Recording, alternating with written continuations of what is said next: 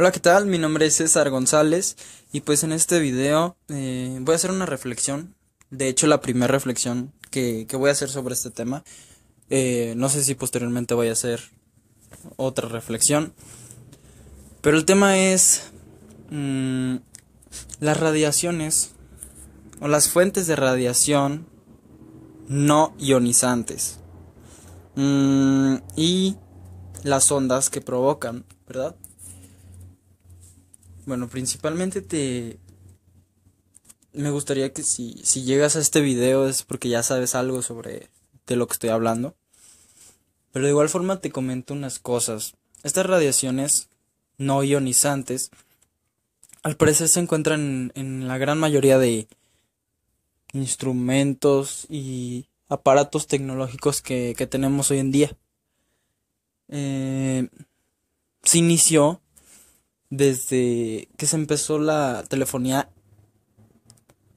sin eh, cables, ¿ok?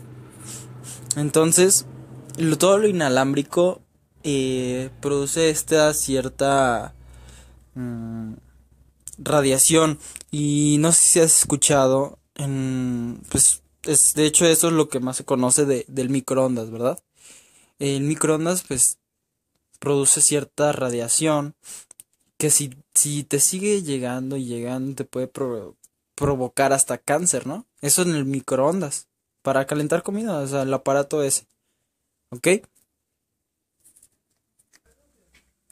Entonces, esta radiación, pues nos, nos puede provocar a cáncer, entre otras cosas. Pero pues sería este de los de las enfermedades más importantes, ¿no? Más dañinas. Eh, se produce por una desvariación eléctrica en nuestro cuerpo porque eh, como sabemos eh, en el cerebro y en general el cuerpo se maneja por electricidad. También tenemos electricidad en el cuerpo. Entonces estas fuentes de iónicas no iónicas más bien eh, nos hacen que se produzcan mm, se podría decir un cierto tipo de Mm, pues movilidad de esas de esa normal electricidad que hay en nuestro cerebro, o sea, la desvaría. Cambia el rumbo, la agita y la hace diferente a la que tendría que ser. Entonces esto hace que las células puedan pues hasta mutar y, volverse como que locas porque esta electricidad hace que cambie su forma de estar, ¿no? Entonces, el gobierno no hace nada con esto. Obviamente, yo estoy hablando de parte de México. Y en México hasta ahora no se ha sabido nada, que haya campaña sobre esto. El gobierno hasta ahora no ha dicho nada. No me he enterado de ninguna forma, en las noticias no han pasado nada. Solo han pasado cosas sobre los celulares que si los tienes mucho tiempo en las eh, piernas o en las bolsas de los pantalones te pueden producir este tumores o algo así. Y los celulares también habían dicho sobre eso. Y, y lo que te decía de la, del microondas. Pero hasta ahora no, nada. Esto es un tema relativamente nuevo, o más bien, de hecho no es nuevo, pero en el estamos a 2016 en el momento que grabó este video. En el 2013 empezaron a como que se empezó a popularizar un poco la este tema, pero en las potencias, ¿no? En los países primermundistas, en los países tercermundistas como México y otros latinoamericanos, pues esa información es, completamente nueva. Y eso no quiere decir que porque sea nueva apenas esté dando, ¿no? Esa se, ya se está dando desde hace tiempo y, y pues no, hasta ahora no nos habíamos dado cuenta. Entonces, este es mi, mi punto de ver. Y pues es necesario crear una conciencia sobre esto recomienda no usar wifi, no usar celulares eh, sin cable, o sea, no utilizar redes inalámbricas porque estas son las cosas que nos afectan directamente. Eh, pueden psicológicamente pueden también crearnos un trastorno, eh, trastornos depresivos, trastorno, perdón, no sé si depresivos, pero sí, trastornos eh, al cerebro, porque ah, como te digo, afectan directamente las neuronas. Mm, puede ser también parte uh, el estrés nos hacen que generemos más estrés porque las hormonas, perdón, las neuronas y las células no se eh, quedan quietas, entonces no tienen, podría decirse, un, tiempo de descanso.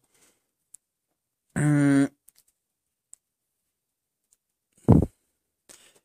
Y bueno, esto es, era algo de lo que te quería contar. Primeramente, eh, es un tema, como te digo, nuevo en México. A lo mejor muy poca gente lo conoce. Y, y yo lo encontré en YouTube. Hay videos sobre en España que se está hablando de esto, pero hay países que ya están implementando estas cosas. Ya están tratando de contrarrestar todo el mal que han hecho.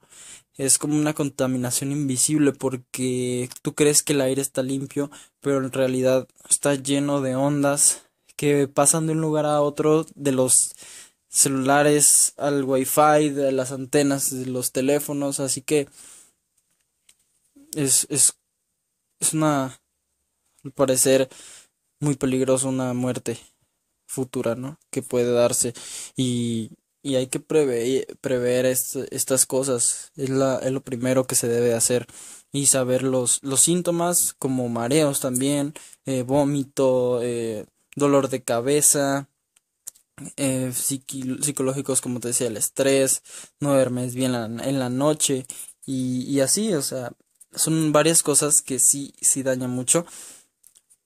Recomiendan estar más tiempo al aire libre, donde no interfieran, donde no haya señales wifi, donde no haya corrientes eléctricas pasando por ahí, porque eso nos va a dañar. Con el lapso del tiempo, de 5 a 10 años puede caer en un cáncer. Entonces, lo que puedo decir es que trates de reducir al máximo, que te informes, tomes las precauciones adecuadas y, y que pues, compartas esta información para que puedan otras personas conocer y empezar a crear algo y pues que aumente esta cultura y que podamos pues en vez de lamentar ir previniendo esto. Aunque puede ser que sea un poco ya mm, tarde esta, esta precaución. Ok, bueno, quiero pedir que te que le des like a este video y que lo compartas si te gustó, que comuniques esta información, que te suscribas a este canal para más videos como este. Y bueno, eso es todo de mi parte, soy César. Bye.